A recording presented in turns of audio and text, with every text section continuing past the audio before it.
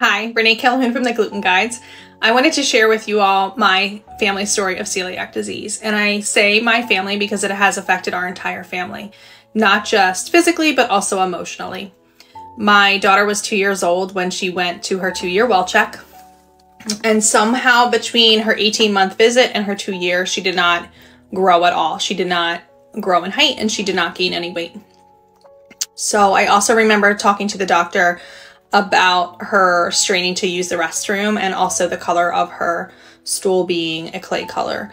And I remember sitting on the floor at the pediatrician's office, and the doctor kind of looked inquisitively and said, You know, I think she has celiac disease. And my husband and I looked at each other and we're like, Okay, that makes sense. It does run in our family. So we took her to get blood work, and it came back, you know, in a few days. And I was sitting in the bed. I had just woken up to get to work and it was like 7:30 before the office even opened and I saw the doctor's office calling. I'm like, here we go. Here it is.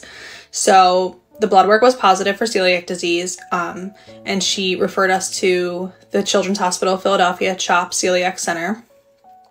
Um, and you know, we were just going with the motions. Like the doctor said, she's sick. We got to get her to the next appointment. We'll figure it out. We'll go gluten free we thought we knew what it was, what it entailed. Um, we didn't quite know all the things that it meant. Um, certainly not. And we're still learning. So I remember calling the celiac center and the receptionist was so sweet. And she's like, Oh, why are you coming? What's the diagnosis? And I had a look in the electronic health record and it said failure to thrive.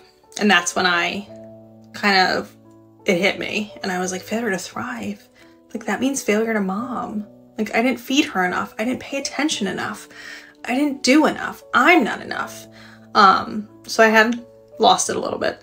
Um, and I remember being a bundle of nerves when we went to the initial appointment at the celiac center.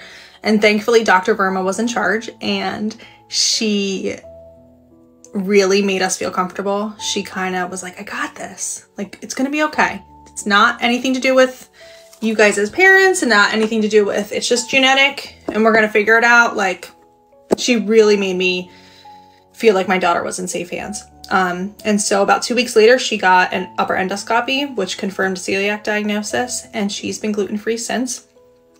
We've been about five years gluten-free.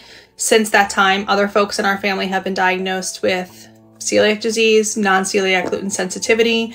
I myself um, have Hashimoto's and ankylosing spondylitis, which are both autoimmune conditions that run on the same genetic line as celiac. So, welcome to the Gluten Guides, and I hope that I get to hear your story.